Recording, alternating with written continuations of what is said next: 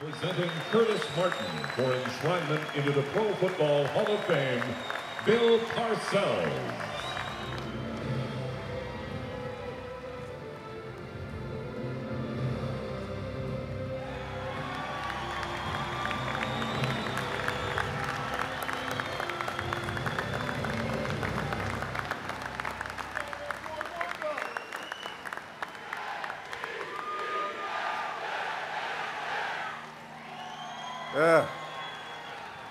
Can I, can I hear that one more time? All these Steeler fans out here.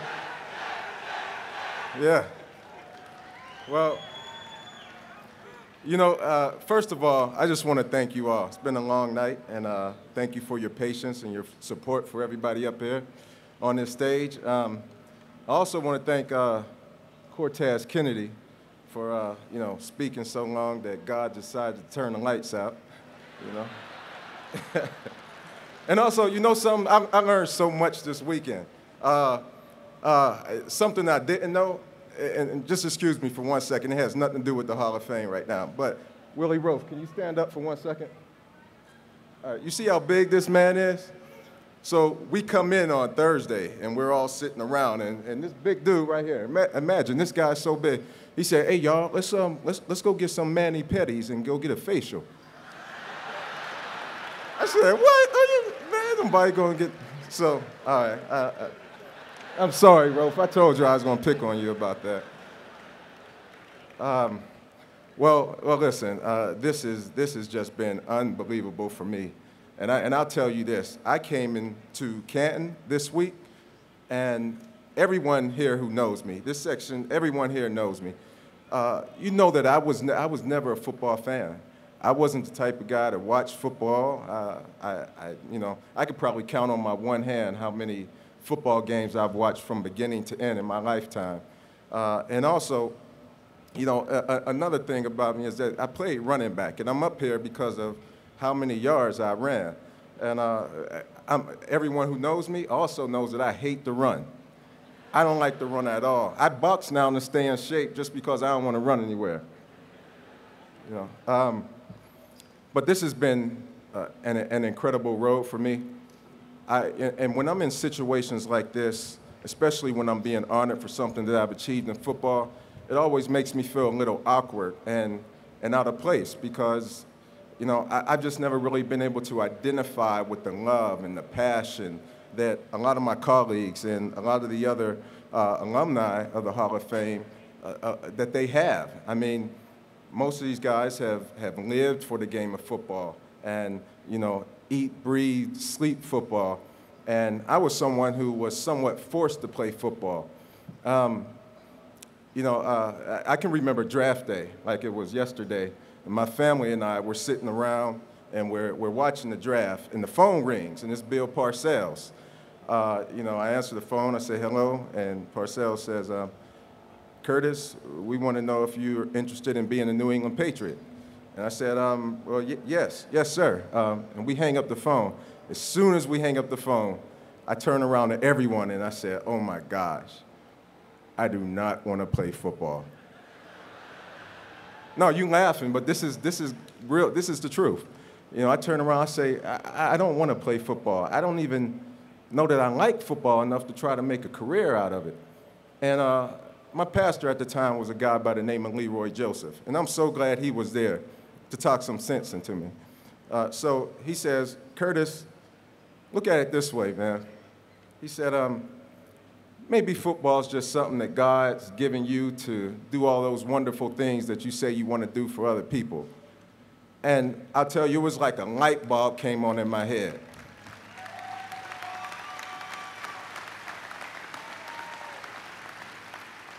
That became my connection with football. And I don't know if he wouldn't have said that to me if football would have got out of me what it got out of me. I definitely wouldn't be standing here. You know, and, and ever since he said that, I knew that the only way I was going to be successful at this game called football was if I played for a purpose that was bigger than the game itself because I knew that the love for the game just wasn't in my heart. Uh, but, but, but let me say this. This weekend, and, I, and I'll tell you this, and this is God's honest truth. I came up here, I had a chance to spend time with the older guys and the guys who have been inducted. I've got, I had a chance to listen to their experience. On Friday morning, we went and we listened to uh, Ralph Wilson speak. And just the passion that he had for this game, being one of the founders of this, uh, you know, one of the founding fathers of this game, there was something that rubbed off on me. And, and literally, yesterday, I really felt like it was my first day as a fan of the game of football.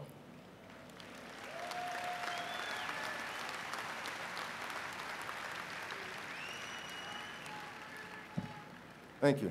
Let, let, let, me tell you a little bit about how I, I, I, got started playing.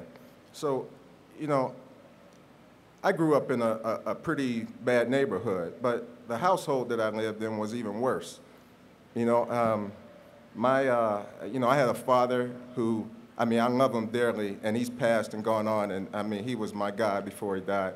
But when I was five years old, I remember watching him torture my mother. I mean, literally. And listen, I, I don't necessarily have notes, so I'm to kind of bare my soul and just bear with me. But, uh, you know, I, I remember him watching, watching him torture you, Mom. He had, he had my mother locked in the bathroom, had her sitting on the edge of the tub, and he turned on all the hot water and stopped the tub up so that the hot water would eventually flow on her legs. And he dared her to move. And as the hot water flowed up and started going on her legs and going on her feet, and she would just flinch a little bit, he would rush into the bathroom, take her hair and burn it with a lighter, and you know, he'd come back out, watch her some more, she'd move again, he'd go in there with a cigarette and put cigarette burns all over her legs, what she still bears to this day. And, you know, I've seen him, uh, you know, beat her up like she was a man. I've seen him throw her down the steps. I've, I've, I've witnessed this woman go to, uh,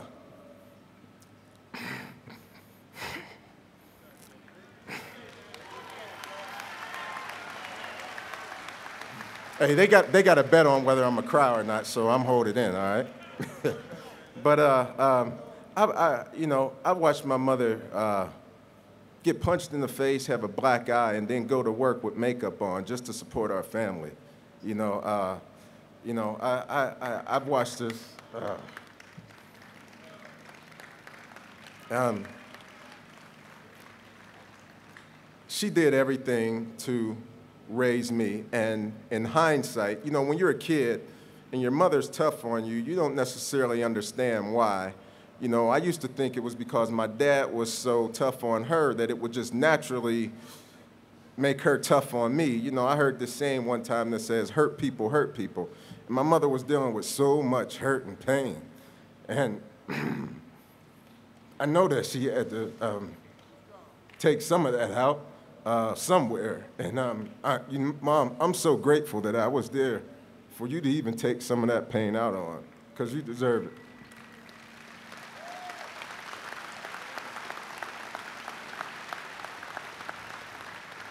You know, um, by the time I was five, my, my, my dad was gone.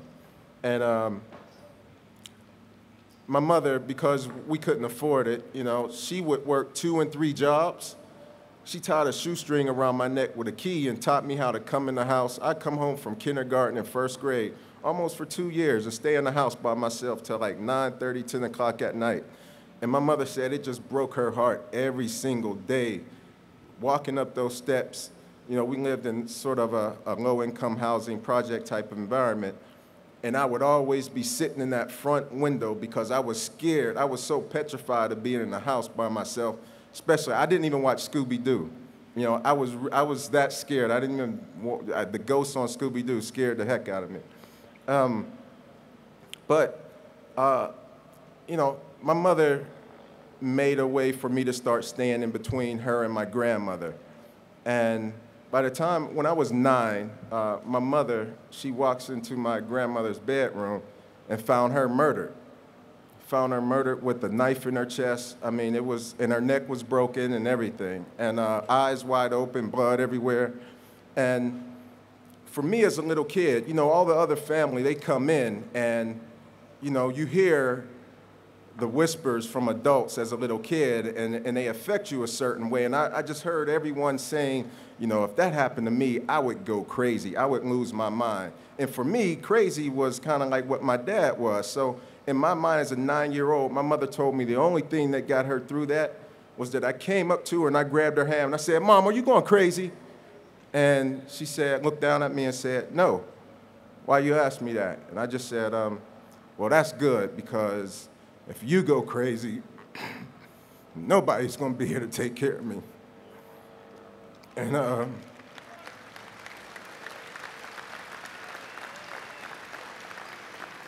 I'm so grateful to my mother. Uh, that is the strongest individual that I've, I've ever known. And I appreciate her so much. And if, if all those things, and the story gets better, but just for right now, just, just entertain me. Uh, if that wasn't enough on my mother, when I was 13, her sister, who was like my other mother, uh, died, got killed and died, an even worse or more painful death than my grandmother did. And even through that, my mother stayed strong and raised me. By the time I was 15, growing up in the environment that I was in, I had so many brushes with death. And I remember one distinct time, you know, a guy had a gun in my head, you know, loaded gun in my head, pulled the trigger seven times. God's honest truth, the bullet didn't come out. Uh, he wasn't pointing the gun at me and pulled the trigger and the bullet came out. You know, I was too young to even recognize that God was saving my life.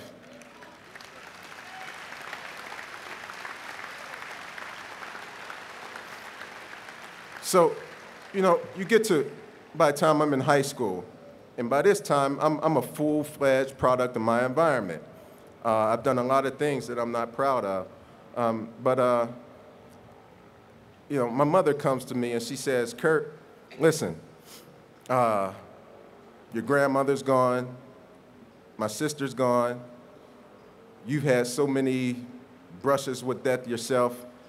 I'm just going to tell you this, Kurt.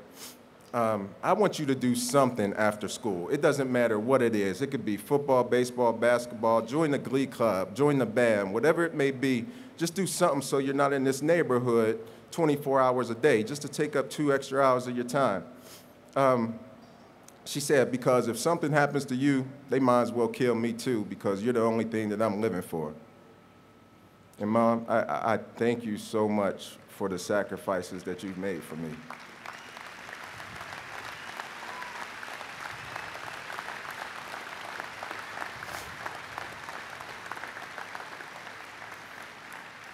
You know, um, I wasn't persuaded on football. I thought I was a better baseball player, so I thought I'd probably end up playing baseball, but it was too hot in the summer, so I was like, no, nah, no baseball. You know, basketball, I was just like, well, I'm only, you know, at most I'll probably grow to be six foot. I'm, I'm not that great to be a six foot point guard in the NBA. And at the same time, my gym teacher was, my, was the head football coach. His name's Mark Whitgarner, he's here. And he says to me, he comes up to me while we're in school, he said, son, I want you to play for our football team.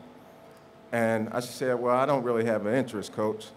He said, um, well, listen, if you don't do something with your life, from what I hear about you, you're going to end up dead or in jail pretty soon. And uh, with him in one ear and my mother in the other ear, football just became the default that I fell into. And Coach Mark Whitgunner, you have no idea uh, what you were saying to me, but I believe what you said could have been the, the, the, the, possible thing that saved my, my life. And I think you were right. He also told me, he said, you know what, Curtis, if you play, I think you'll get a scholarship. I think you're that good. You'll get a scholarship to any, anywhere you want to go in the country. But for me, it just, I didn't really care. It didn't make sense, you know, because it was like, no, now that's two things that I don't like, football and school. You know, so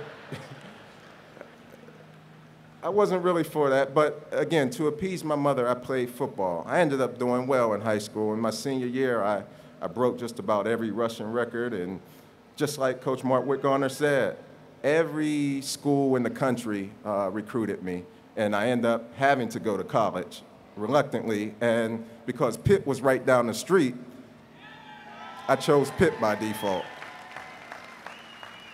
I'm, I'm so grateful to uh, Coach Sal Sunseri and Coach Paul Hackett because uh, my freshman year, uh, they were the ones who kind of kept me straight. Um, just to fast forward uh, to me going into the NFL, well, even before that, by the time I was a junior, my life was so bad. I literally thought, and again, this is something that everyone knows, I always thought I would die before I was 21. So when I was 20 years old, uh, I just said, you know what? I got to go to the nearest church, and I had never went to church. My mother ra- never raised me, talk, you know, telling me about God or anything. But I just said I got to go to the nearest church and tell this God, God, thank you, because I know I'm not faster than a bullet. You know, I'm not Superman, uh, but somehow I've seemed to have had more than nine lives. And I remember, and this is, it was one of the most surreal moments in my life. I remember sitting there after the preacher had preached his sermon, and I'm up in the balcony, and everyone was getting up leaving, and I just sat there. And I looked up at the ceiling, and I said, you know, and, and I was, at that time, I was a street guy, so I looked up and talked to God like he was one of my boys in the street. You know, I said, uh, listen, man, I don't know nothing about you or this Jesus cat that everybody talk about, but um, I'm gonna make a deal with you. I've heard about people making deals with the devil, but I don't want to do that. I'm gonna make a deal with you. And if you let me live past 21, um, dude, I promise that I'll, I'll just try to do my best and I'll try to live right and I'll try to do whatever you want me to do. I know you're a smart person if you're God, and so there has to be a bigger purpose for my life than what I'm experiencing. There got to be more to life than this. And I'll tell you what, um, I'm 39 years old now, and God has definitely upheld his end of the bargain, and I'm going to spend the rest of my life trying to do mine, hold my, up, uphold my end of the bargain.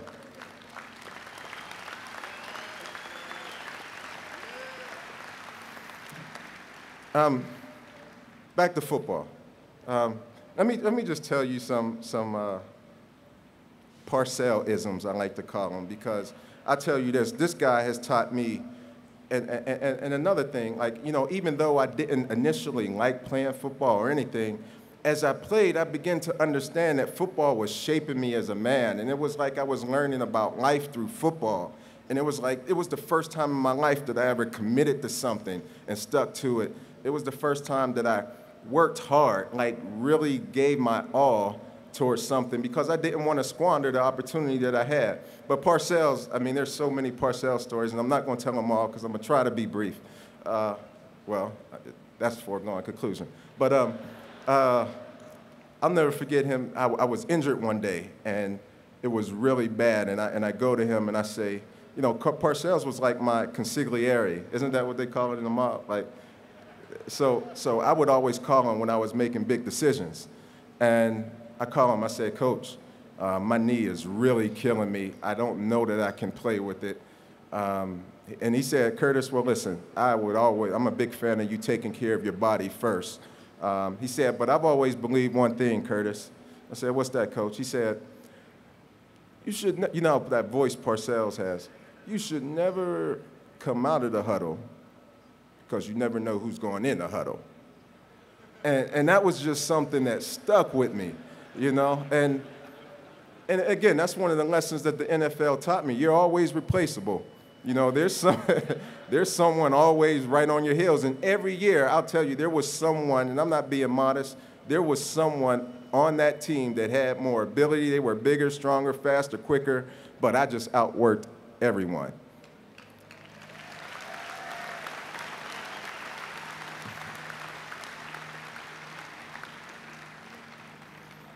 Uh, another, another Parcell story because you, you got to understand this guy has really been, he was the first male that I had as a positive role model, and I really looked up to him and I hung on to every word he said. One day we're in practice, and he calls me off the field. So I go over to the sideline, I say, hey, what's up, coach? And um, he's like, you know, and he called me Boy Wonder. Uh, so he said, Boy Wonder, have you been working hard? I said, well, yeah, of course, coach. I mean, you know, that's just what I do. I mean, like, I, I, I want to outwork everybody in the building, not just the players. I mean, the janitors, the, you know, front office people, everybody. And I said, but why would you ask me that? He said, um, I just want to make sure you're not fooling yourself. I said, all right, now what does that one mean? And he said, um, boy, wonder long as you live, man, never forget this. There's a big difference between routine and commitment. He said, some people just do the same routine over and over again in life. And he said, and some people even get better at that same routine over and over in life. But there's few people who commit to the next level. And I'll tell you, that left an impression on me that even though I knew I, I worked hard, it made me work harder. And I applied that principle to every facet of my life mentally, emotionally, spiritually, financially, however it may have been. I'm always trying to commit to the next level. Thank you, Coach Parcells.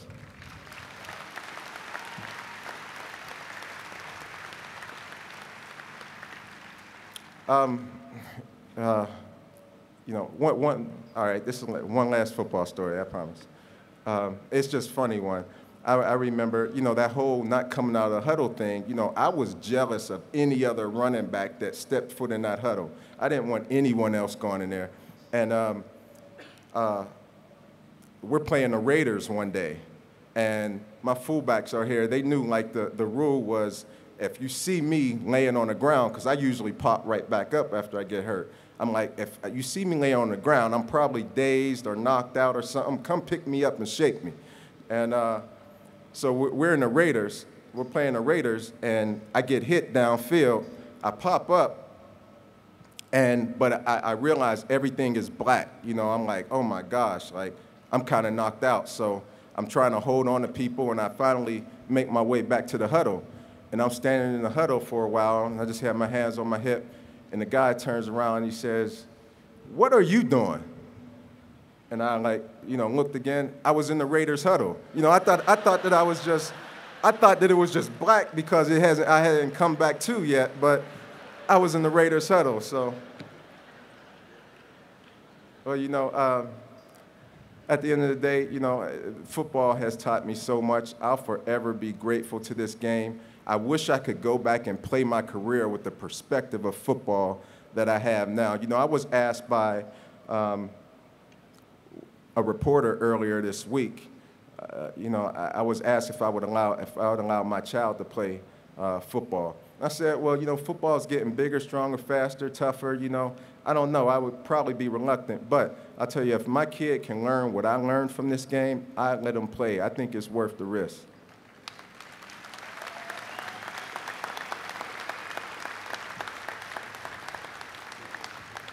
At the end of the day, um, you know, I, have achieved a lot of things, uh, and, and I've done a lot of wonderful things in life that I'm so grateful for. But I'll tell you, my greatest achievement in my life was helping my mother and nurturing my mother from the bitter, angry, beaten, hurt person that she was, nurturing her to be a healthy, to have a healthy mindset and to forgive my father for everything that he did to her. By the time it was like, that's my greatest accomplishment. By the time he died, she was cooking him food every day and taking it to him. I mean, I mean, and she is so happy right now, and I'm so grateful for it. Um, but you know, out of all the things that I've achieved, one of the things that I learned is that it's not necessarily what you achieve in life that matters most, but it's who you become in the process of those achievements that really matters.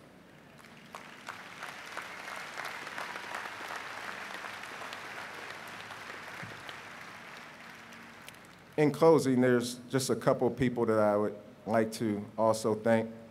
Um, again, uh, Derry Stone, this is a guy who's been like my father figure, and he's been the person who has taken the place of just about everyone else, every male role model in my life. You've been the best person for me to look up to. I honor and I respect you, and I'm the reason why I'm the man that I am today is because of what you taught me, Derry. Thank you.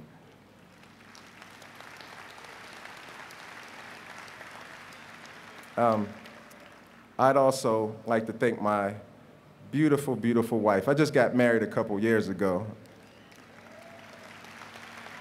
And we have a little seven-month-old named Ava. And honey, I'd just like to thank you.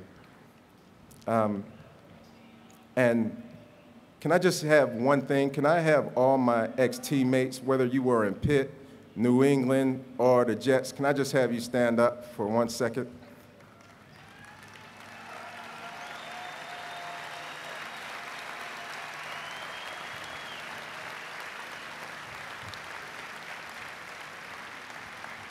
You guys, I just want you to know that you guys are like the brothers I've never had. Many of you have, have carried me. You've taught me so much. In, in, in, our, in our class meeting rooms, it was always funny because I never really understood the X's and O's of football, so people always made fun of me. Uh, but you guys, I really appreciate you all, and I appreciate every coach and everyone who has had anything to do with my playing career. Thank you.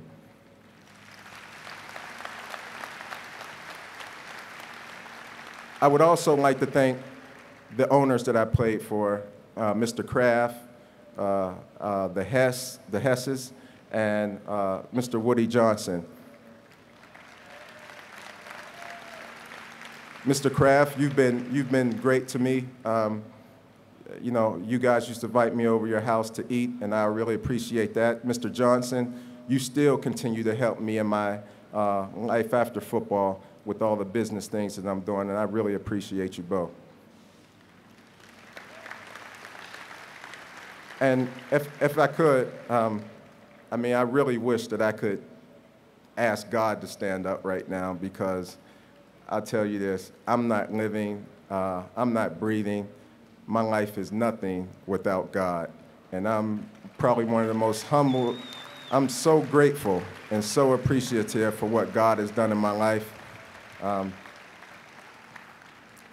and last but not least, I'd just like to thank all the fans.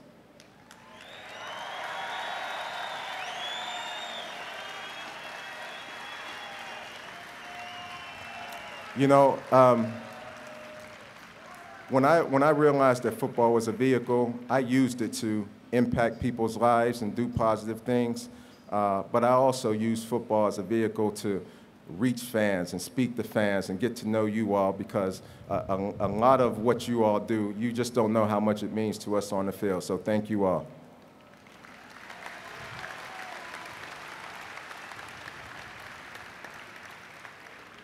You know, at my, at my eulogy, I don't want my uh, daughter or whoever it may be giving my eulogy to talk about how many yards I gained or touchdowns I scored. I want my daughter to be able to talk about the man that Curtis Martin was, how, you know, when she was growing up, she looked for a man who was like her father, that he was a man of integrity, a man of strong character, and a God-fearing man. That's what I want. And then at the end of the day, she say, oh yeah, he was a pretty good football player. Thank you all.